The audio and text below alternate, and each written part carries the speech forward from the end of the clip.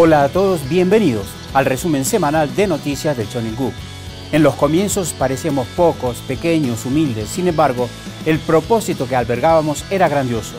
El primero de mayo de 1954, la Federación de Familias para la Paz Mundial y la Unificación comenzó colgando su letrero en una pequeña casa en Pukandong, en Seúl. Ahora ha cumplido su 70 aniversario. Esta semana, el especial de nuestro AJ Global News es el acto conmemorativo del aniversario de la Federación de Familias. La Asociación del Espíritu Santo para la Unificación del Cristianismo Mundial fue fundada el primero de mayo de 1954, comenzando su camino para asumir la misión que el cristianismo debía cumplir y para llevar a cabo la providencia de restauración, asumiendo la responsabilidad como religión madre. Durante los últimos 70 años hemos avanzado sin descanso, centrados en los padres verdaderos, para recuperar el fundamento cristiano y establecer la soberanía celestial, el pueblo celestial y un territorio celestial. Especialmente con la victoria de la primera venida de la hija unigénita, se consagró el santuario Chonil, donde se puede recibir y servir a Dios. En esta era de esperanza en la que se puede realizar la Corea unificada, se celebró la ceremonia del 70 aniversario de la fundación de la Federación de Familias para la Paz Mundial y la Unificación.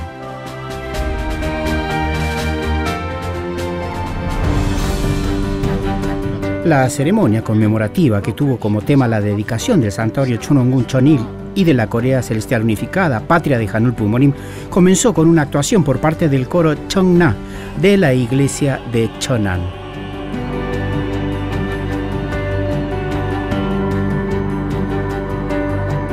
A continuación, representantes de diferentes religiones ofrecieron una oración para consagrar el lugar y participaron en la ceremonia de mezcla de sus respectivas aguas benditas.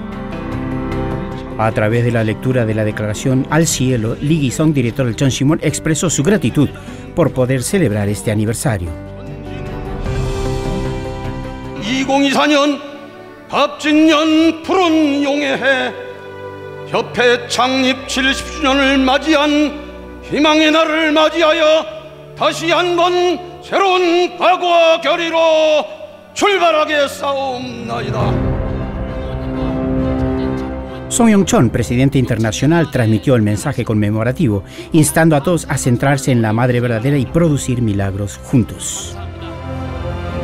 오늘의 창립 70주년을 도약대 삼아서 100주년이 다가오는 그날에는 하늘이 소망하시고 참 부모님께서 그토록 바라시는 완성된 천일국에서 전 세계 80억 인류가 참 부모님 모시고 자유와 평화와 행복의 삶을 살고 있는 우리 모두가 되기를 진심으로 바랍니다. Con mensajes de felicitaciones por el 70 aniversario de la fundación de la asociación, se conmemoró este día significativo. 두 분이 주신 말씀과 가르침은 앞으로 가정연합이 상처받은 영혼을 위로하고 삶의 희망과 용기를 주며 세상에서 밝고 맑은 변화를 일으킨 이끄는 하느님의 사자로서 사회적 책임과 역할을 여러분께서 다해 주시기를 간절하게 기도하고 있습니다.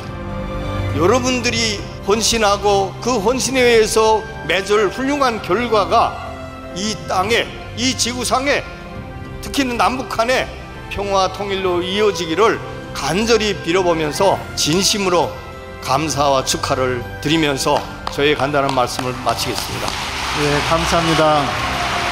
감사합니다. La Madre Verdadera hizo su ingreso y se llevó a cabo la ceremonia de ofrenda de regalos que simbolizaron el pueblo, la soberanía y el territorio celestiales para la restauración de la nación. Primero, siete representantes simbolizando al pueblo presentaron ramos de flores a los padres verdaderos. Luego, representantes de Corea, Japón y de Estados Unidos presentaron obsequios que simbolizaban la soberanía y un representante de los contribuyentes del Chongseung presentó una placa de mérito a la madre simbolizando el territorio. Por último, los regalos conmemorativos del 70 aniversario fueron presentados por las directoras de Secretaría de Presidencia, Muniona y Chong Wan-ju, y también por el doctor Song Wang-sok, el líder nacional. La Madre Verdadera cortó el pastel y todos juntos celebraron este día de alegría.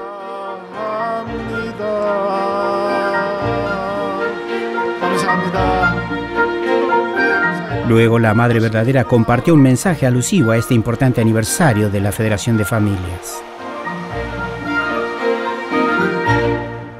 전 세계 지도자 축복가정 평화대사 여러분 오늘 협회 창립 70주년을 맞는 이날을 함께 할 수 있어서 감사합니다.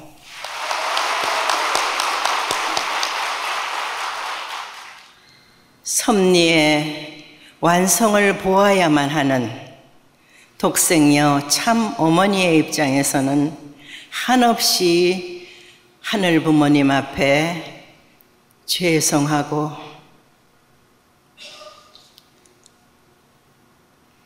송구한 마음이요. 하루도 쉴 수 없는 내 체력의 한계를 넘어 더 이상의 하늘 부모님을 기다리게 할 수 없는 절박한 마음으로 나오다 보니 하늘이 함께 하시사 천일국 10여 년에 하늘 부모님을 모실 수 있는 성전을 완공할 수 있게 역사하여 주심에 깊이 감사와 영광을 올립니다.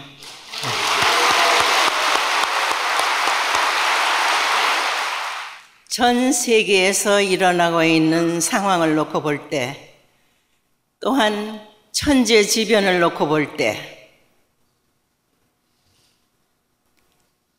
오늘을 살고 있는 세계 백성들은 깨달음이 있어야 할 것입니다.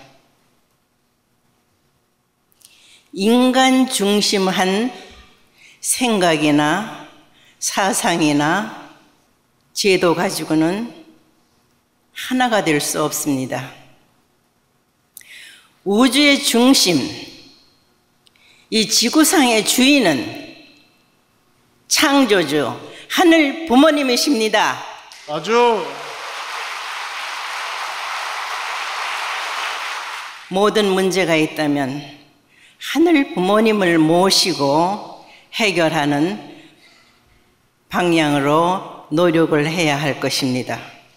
섭리사에 있어서 인류 역사에 있어서 처음이자 마지막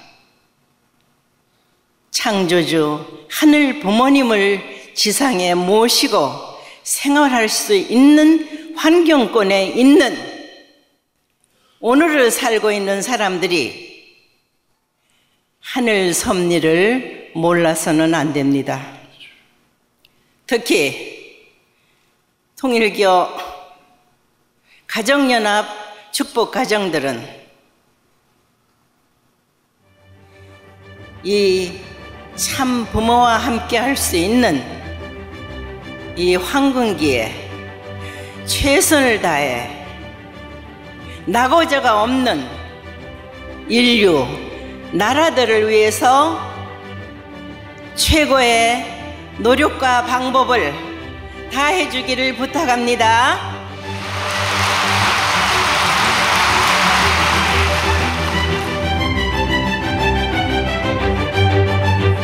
Luego de actuaciones destacadas del Ballet de los Angelitos y de los estudiantes de la Academia UPA, la primera parte concluyó. Como siempre, con los tres eh, a cargo del doctor Yang Changxi.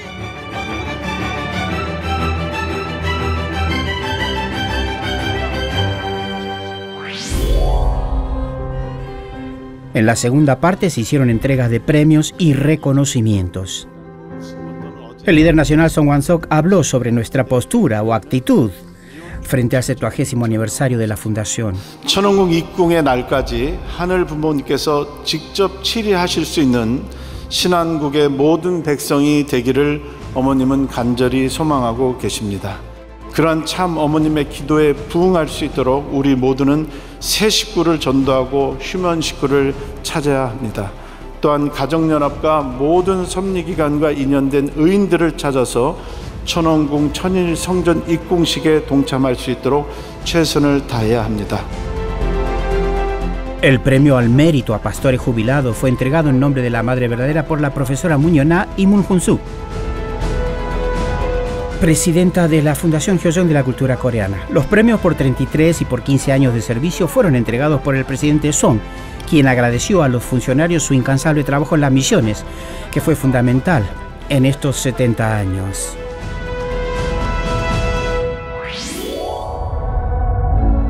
Finalizado el evento conmemorativo, los asistentes realizaron una peregrinación al santuario Chonongun Chonil.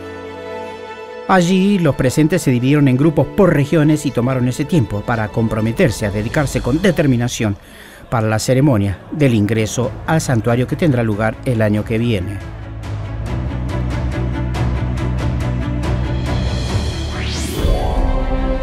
El 62 aniversario del Día de la Verdadera Creación fue celebrado en la iglesia Chonongun Chonon.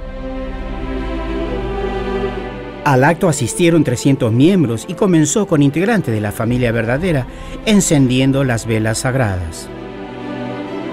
A continuación se procedió con la ceremonia Kyongbe por representantes de la familia verdadera, representantes de la misión mundial y de las familias bendecidas de los mundos físico y espiritual.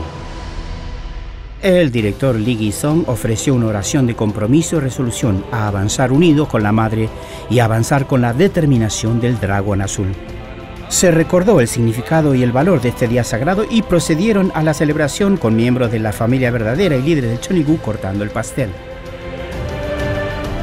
La cantante de ópera Yasuko Sakada ofreció una magnífica canción mientras que el presidente de la iglesia de Chonon, Park Sang-son, transmitió el significado de esta festividad a través de la lectura de las escrituras del Chonilgu. El presidente internacional Son Yong-chon destacó la importancia de heredar el profundo amor y el legado de la vida y el pensamiento de la verdadera madre sobre el cuidado y la recuperación del mundo natural. La celebración del 62 aniversario del Día de la Verdadera Creación concluyó con los tres Ongmanse del presidente del Círculo de Pastores Veteranos, el señor Chomanu. La Madre Verdadera inspeccionó la nueva ruta del crucero Capión a la isla Charazón. El crucero Capión comenzó a operar el trayecto a la isla Charazón con motivo de la apertura del Festival de Flores que se celebra del 25 de mayo al 16 de junio. Con esto el crucero de Capión ofrece servicios hacia la isla Namisom y Charazón.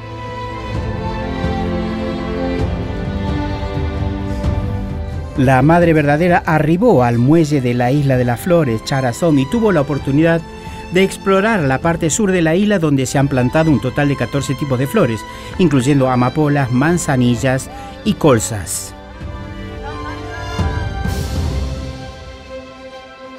Posteriormente desembarcó en el muelle Metanaru de Namisom bajo una cálida bienvenida por parte del personal. Namisom es un destino turístico muy popular entre los extranjeros que buscan experimentar la belleza de la naturaleza. Allí, durante una conversación con los empleados, la madre expresó su deseo de que se promueva la adopción generalizada de barcos ecológicos para la protección y preservación del río Pucán, así como su apoyo a las actividades de la Peace Road que se están llevando a cabo para la paz mundial, e instó a todos a unirse a esta causa noble. El proyecto de la ruta fluvial del milenio del río Pucán está recibiendo atención por su enfoque en el desarrollo de recursos turísticos ecológicos. La madre está mostrando un ejemplo en la protección del planeta y la creación de un entorno recreativo ecológico mediante el uso de barcos eléctricos, valga la redundancia, ecológicos.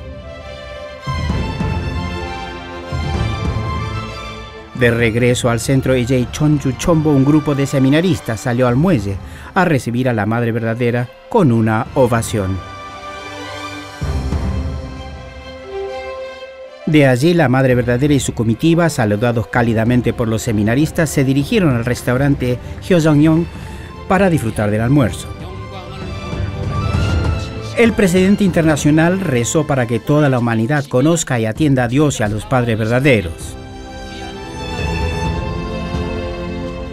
El director Iggy propuso un brindis por la victoria del ingreso victorioso de la madre al santuario Chonil y principalmente por su salud y larga vida.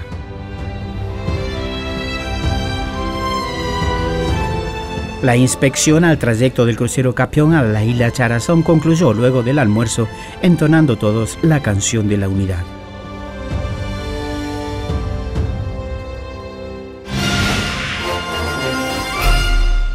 Veamos ahora un compilado de noticias que recibimos de las misiones.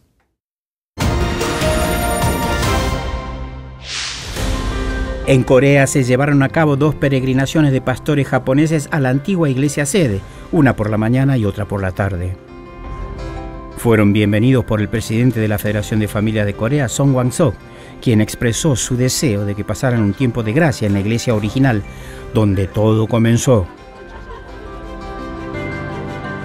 Allí los ministros de Japón recorrieron cada rincón de la antigua sede, donde pudieron sentir el aliento y la huella de los padres verdaderos y ofrecieron fervientes oraciones para heredar su corazón.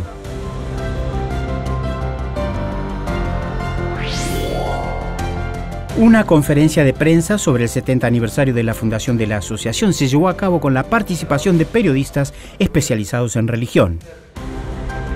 모든 국민들이나 우리 가정연합의 우리 회원들도 다 이때가 남북 통일로 더 집중하고 준비해야 되는 때라고 이렇게 생각하고 있습니다. Durante la conferencia se destacó que la asociación fundada el 1 de mayo de 1954 ha estado llevando a cabo sus actividades proclamando la paz mundial y la salvación de la humanidad. En el marco del 70 aniversario fue expresado el compromiso de avanzar sin descanso hacia la realización de la reunificación de Corea, asumiendo una mayor responsabilidad.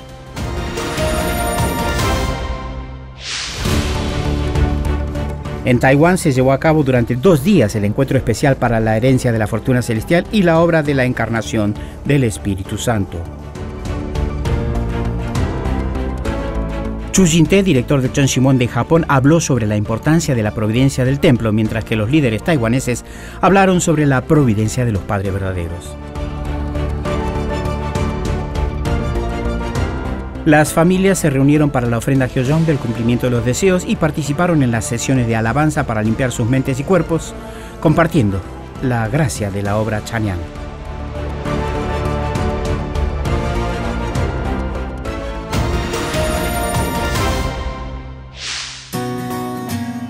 En Estados Unidos, como parte de las celebraciones del aniversario de la Santa Boda de los Padres Verdaderos, se llevó a cabo el torneo de pesca Peace King Cup 2024. Durante el evento, que se llevó a cabo durante 10 días en los muelles cercanos al tramo entre Nueva York y Nueva Jersey y a lo largo del río Hudson, los participantes compartieron la visión de los Padres Verdaderos sobre la providencia marítima y se concentraron en la pesca. El participante que capturó una lubina rayada de 107 centímetros se aseguró el primer lugar obteniendo el honor del premio. La conferencia del clero americano ACLC hizo entrega del premio Back the Blue en apoyo a las fuerzas de seguridad. Las autoridades policiales actuales y retiradas se comprometieron a trabajar juntas por un Chicago seguro, promoviendo la colaboración entre líderes religiosos y la policía local para que Chicago sea una ciudad mucho más segura. Hubo además un acto de entrega de certificados de nombramiento de embajadores de la paz. En Canadá se llevó a cabo el octavo encuentro anual de té para madres e hijas al que asistieron líderes de la comunidad, incluyendo escritoras, profesoras, representantes de ONG y de varios sectores. Las oradoras destacaron que la relación madre-hija debe basarse en la confianza mutua y la comunicación, ya que son la una para la otra. El evento concluyó con una actuación musical maravillosa.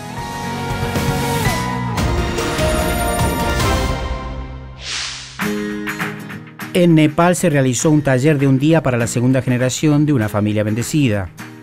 Los asistentes escucharon las conferencias de los líderes sobre el tema Convertirse en agua pura para el sueño de Hanun Pumonim. donde confirmaron su identidad como segunda generación y tuvieron tiempo para explorar su verdadero yo. También se llevaron a cabo discusiones profundas. Gracias a los padres que se ofrecieron como voluntarios para este taller, se convirtió en un encuentro significativo donde padres e hijos profundizaron su relación.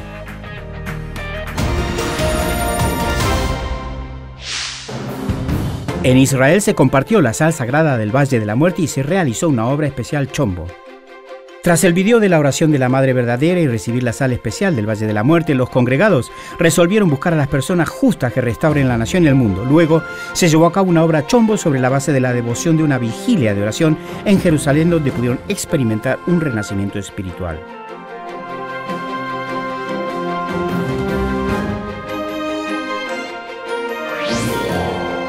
La UPF de Turquía fue invitada a la primera cumbre Al-Baraka, celebrada en Estambul.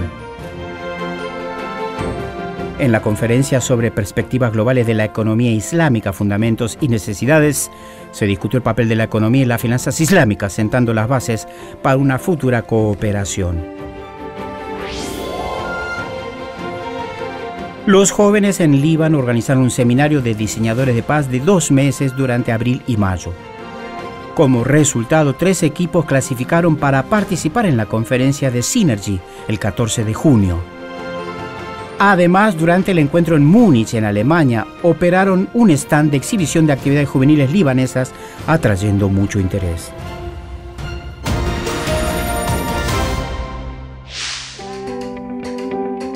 En la sede de la Asociación de Brasil, el Departamento de Familias condujo un seminario para miembros de la primera generación y matrimonios ya consumados. Este evento se llevó a cabo con participación presencial y online. Asistieron siete iglesias además de la sede central. Durante los dos días de entrenamiento se dedicó tiempo a la lectura junto Guía para la vida de fe y otros aspectos de la tradición de los padres verdaderos para las familias bendecidas. Concluyeron el programa escuchando conferencias y testimonios sobre la providencia del Chon Simón, comprometiéndose a participar activamente en ella y formar familias ejemplares. En la sede de Brasil se llevó a cabo la graduación del equipo móvil de Brasil y Bolivia tras un año de actividades. En esta ceremonia en la que 17 miembros completaron su entrenamiento, el presidente de la Asociación de Brasil, Sasaki Koichi, pidió a través de su discurso que pongan la voluntad de Dios como prioridad en sus vidas. Luego, el presidente continental Kim Jong-un instó a los graduados a dar un giro de 180 grados en sus vidas futuras. Los miembros recibieron su certificado de graduación y expresaron sus compromisos para el futuro, marcando el comienzo de un mañana esperanzador en América del Sur. En Costa Rica, como parte de la preparación para las bendiciones de la primera y segunda generación en 2025, se llevó a cabo un seminario educativo sobre la teología de los padres verdaderos. El presidente regional Kim Sang-sok habló sobre el significado y el valor de los verdaderos padres, así como sobre el significado del ingreso al santuario Chonomum Chonil en 2025. Los miembros expresaron su gratitud a la Madre Verdadera. La Federación de Familias de la República Dominicana organizó un evento llamado Festival de la Paz Familiar como parte de sus esfuerzos para cumplir con la misión de Mesías Tribales y difundir las bendiciones a nivel nacional. Después de explicar el significado y el valor de la bendición en la iglesia evangélica de la Nueva Jerusalén en el pueblo de los Alcarrizos, se llevó a cabo la bendición de 17 parejas. Los asistentes celebraron juntos el comienzo de estas familias bendecidas.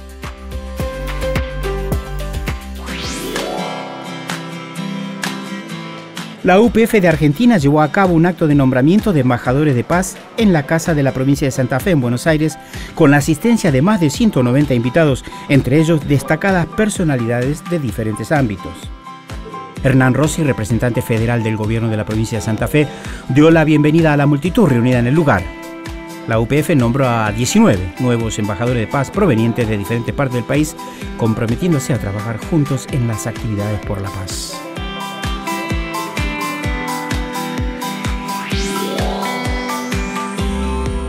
También en Argentina, con la colaboración de los miembros de CARP y los padres de los estudiantes Sunhua, se llevó a cabo un seminario de un día sobre el principio divino. Casi la mitad de los participantes eran nuevos contactos, fruto del testimonio. Los miembros expresaron en sus impresiones que a través del seminario obtuvieron una nueva comprensión del principio y sintieron un crecimiento espiritual en sus corazones. Los nuevos miembros expresaron su deseo de seguir asistiendo a futuros seminarios.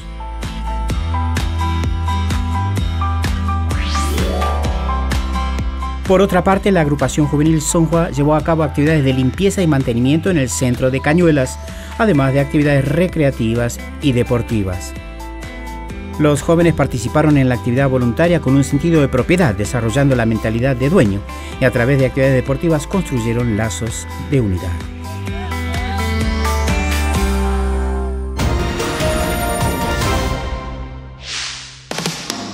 La Asociación Interreligiosa IAPD organizó en colaboración con la Unión Africana la celebración del Día de la Espiritualidad Africana bajo el tema Educación Africana Espiritualmente Saludable en el siglo XXI. En este evento, que contó con la participación de más de 350 invitados, entre otros líderes religiosos de países como Sudáfrica y Ruanda, líderes de diversas denominaciones se reunieron para celebrar el Día de la Espiritualidad Africana, pasando juntos un día muy emotivo.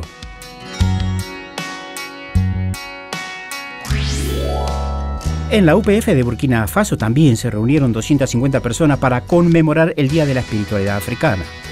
Los participantes se conectaron en línea con Etiopía para celebrar juntos y también se llevó a cabo un acto de nombramiento de embajadores de la paz.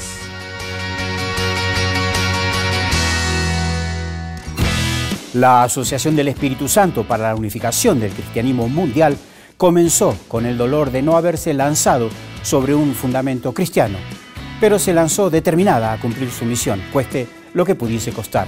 Hemos cumplido 70 años y no es el fin. Es hora de unirnos más que nunca para celebrar la victoria del ingreso al santuario Chonongon Chonil. Con esto concluimos aquí nuestro informe. Que tengan una buena semana.